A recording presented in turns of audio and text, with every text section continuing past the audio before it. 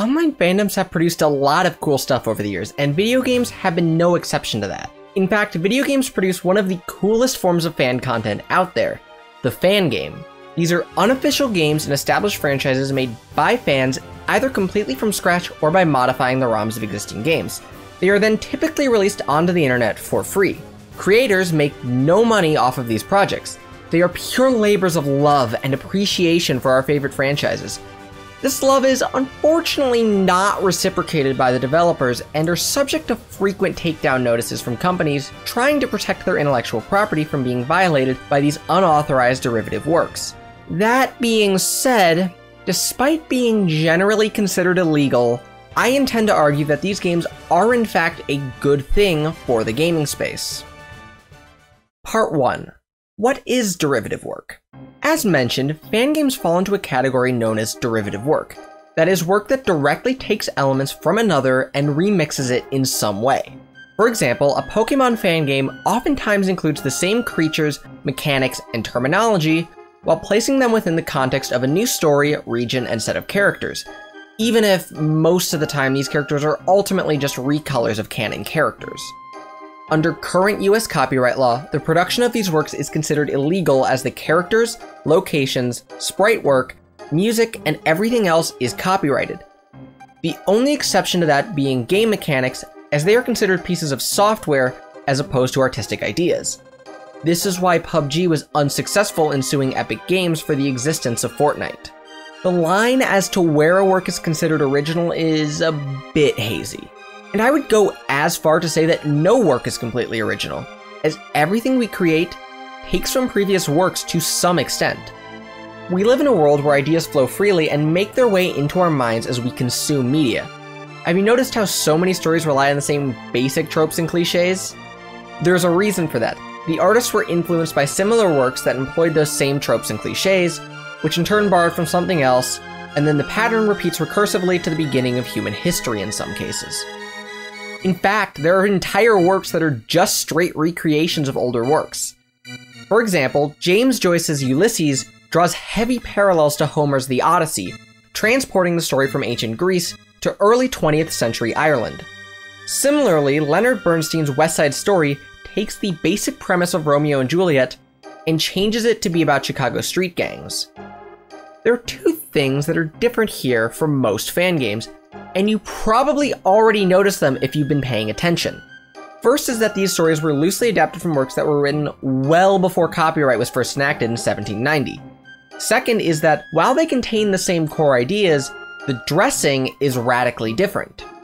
Fan creations, on the other hand, contain both the same core and dressing, and thus the fact that they're derivative is much more obvious.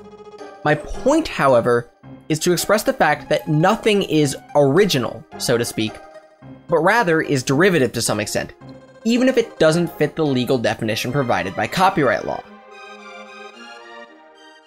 Part 2 Is derivative work bad? So there's this perception in our culture that all work you produce must be completely original, and to create things that are derivative is the equivalent of stealing. This is based off the notion that ideas you come up with are a form of property that you then own. Copyright exists as the legal codification of this. It ensures that not only do you own the ideas that you produce, but that you are the sole individual who is allowed to make money from them. Originally, this was for a period of only 28 years, and has then gotten progressively longer as time went on, to where it is now 70 years after the death of the creator. The reason for this? Mickey Mouse. No, I'm serious every time the duration of copyright has been extended, it's because Mickey Mouse would have entered the public domain if Disney hadn't lobbied legislators to change the laws and extend it. In fact, some even predict that in 2023, we may see the talk of extending copyright happen again, as in that year, the copyright for Steamboat Willie would be set to expire. This is honestly emblematic of a lot of the issues that I have with copyright law as it currently stands, as this is a massive overextension of what the law was intended to do. It was passed so that creators are able to profit off their work and don't run the risk of having it stolen and sold by others. I'm not on board with the abolish copyright train though, because as a creator in a market economy, I would much prefer the guarantee that creators are able to survive without fear of others taking the credit. That being said, Life plus 70 years is absurd and serves only to benefit large multinational corporations who will have to contend with others using their characters to tell stories. This is something that is made more ironic by the fact that Disney is the king of adapting public domain stories. Yet, they themselves are seemingly terrified of allowing their characters to enter the public domain. However, I'm not here to debate copyright law. I am less concerned with the legality of fan games and more so with the ethics of it. I'm not asking if fan games are legal. They're not as the law currently stands, but rather, is producing them unethical? So, to answer the question of the ethics of derivative work, I took to Google, as you do, and immediately hit a wall. There's not much out there on this particular topic. I even tried seeing what the fan fiction community had to provide me, and most of the articles focused on stories written about real people. Yeah, it wasn't a great start. What I was able to find set a few key boundaries as to what you can and cannot do with fanfiction, and by extension, fan games. Generally put, when you put the legal issues aside, communities generally consider it okay to create fan work, so long as you don't try to sell it. It's also really important that you give credit for anything that isn't yours, which is something these games don't ever try to do. They're always very explicit in the fact that the developers do not own the rights to Pokemon or whatever other franchise we may be talking about.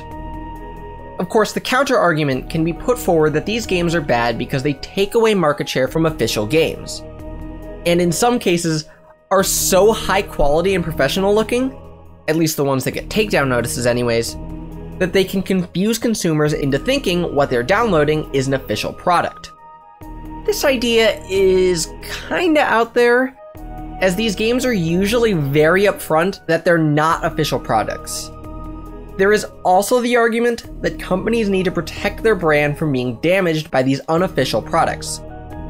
But there's no reason why that should be a major concern, as again, these games are put out there clearly marked that they're produced by fans, and do not represent the companies in any way.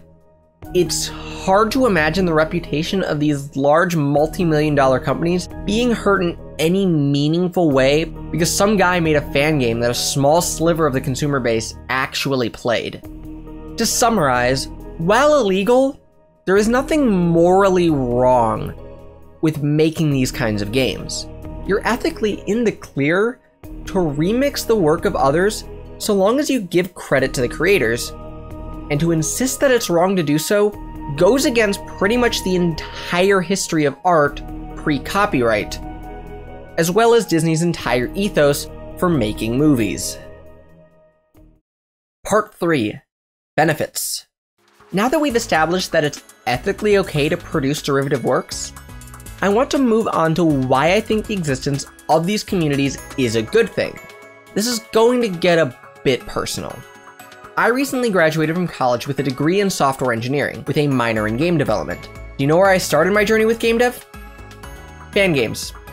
While I never put a finished project out into the world, I put a considerable amount of time into those unfinished projects. And with each one, I found that I learned quite a bit about things like programming and game design. Hell, I taught myself how to code so I could make custom scripts in RPG Maker VX Ace to create a Final Fantasy fan game. And while I never finished that project, projects actually, I guarantee you that without that, there is a pretty damn good chance I would not be where I am today. And it's not just me either that did this. Toby Fox, the guy who made Undertale, got his start making Earthbound ROM hacks on Starmen.net. Hell, Megalovania was literally first composed as a song for his Earthbound Halloween hack. If anything, what it shows is that these games can inspire people to want to be a part of something bigger. In some cases, these projects are an intellectual exercise in order to learn how to do a certain task. It's a lot easier when you don't have to come up with everything else and can focus on the one thing you actually want to learn. In fact, AM2R an unofficial remake of Metroid 2 The Return of Samus, was made as an intellectual exercise to improve the creator, Milton Guasti's programming skills. Remaking games lets you focus on the stuff you want to do research on. I didn't need to waste time figuring out what the world was going to be. It was just working the overall layout and master levels and the overall game design, and so my focus was just learning how to properly program and scripting. In this context, yeah, that makes sense. My days making Pokemon fan games taught me a few things. In some cases, how to modify and add to an existing codebase, which is a really vital skill to have as a programmer, and level design, among other benefits. Having to not worry about making a fully functional combat system right off the bat allowed me to focus on higher level design aspects of a game, such as balance and trainer placement. I wouldn't say that my work is the best, and certainly needed to be tweaked a lot more, but I know better now because of my work on these games. Part 4 Cultural Significance. I want to end with something a bit strange, and that is what these works represent on a cultural level, and why I think they serve an important role. In short, these projects either fill a hole left by official releases and show what others view as the potential of these franchises. AM2R may have started as a means of learning game scripting, but grew to what it was because of how dated the original was. It was a way to experience a game that desperately needed to be updated, and before its takedown and the subsequent release of the fantastic 3DS remake, this was pretty much the only real good way to experience Metroid 2. There are other projects that exist solely to fill the void left by the death of franchises as well. Mother 4 was a project created to serve as a rough sequel to Mother 3, after the series creator, Shigesato Itoi, decided to end the franchise. He maintains he doesn't have any more good ideas for a new entry, and that's a fair assessment all things considered. As an artist, while you do cede some control over your work to an extent, after you put it out there, you should only create because you want to, not because you feel obligated to. Since Itoi has no desire to make more Mother games, fans have taken it upon themselves to fill that void. The project has now rebranded and removed all references to Earthbound in order to become its own thing, but this is still emblematic of the role that fans can have in terms of adding to an existing body of work. There are a number of Pokemon fan games that exist solely to create an experience that the mainline games simply aren't providing. A fairly famous example is Pokemon Fire Red Omega, which is a version of Pokemon Fire Red that makes the game significantly more challenging. This hack, and others like it, exists largely in part due to people finding the games too easy, especially as Game Freak has focused on making these games as mind-numbingly easy as possible in the name of appealing to children, who apparently have no attention span now. This idea of difficulty extends to the Mario franchise as well in the form of the Kaizo ROM hacks, which create platforming experiences that are on par with games like Super Meat Boy and Celeste in terms of their requirement for precision in your every movement. This is something that the mainline Mario games obviously don't offer due to the fact that only a small minority is seeking that kind of challenge from their Mario games. Since to Nintendo these games wouldn't be considered profitable on a large scale, it's up to fans to create those games instead. Of course, this dynamic has changed a bit with the advent of Super Mario Maker, but the Kaizo community is still going strong despite that. They haven't all jumped ship to just playing on the Switch now. Beyond difficulty, returning to Pokemon ROM hacks, there's also the case of games doing things that traditional games don't do. This means games without the traditional gym structure, or ones that put more focus on the story. These games represent what fans see as underutilized potential within their favorite franchises and take it upon themselves to do what the devs won't. Conclusion it's unlikely that despite these arguments, we will see developers ease up on the creation of fan projects anytime soon. Nor are we likely to see any meaningful reform to copyright laws that would be of any benefit to fan creators. But we also have to face the fact that these projects aren't going away, especially given that, despite all official download links to these games being removed, the games still find their way onto the internet somehow. because it's, well, you know, the internet. If you take away anything from this video, it's that these games provide a number of meaningful benefits to both the creators and to the gaming community as a whole. Thank you for watching this video. Be sure to leave a like to signal to me that you enjoyed this content. Also go ahead and subscribe and click on that bell icon so that you never miss a video. Finally, feel free to leave a comment telling me what your favorite fan-made project is. And with that, I will see you guys next time.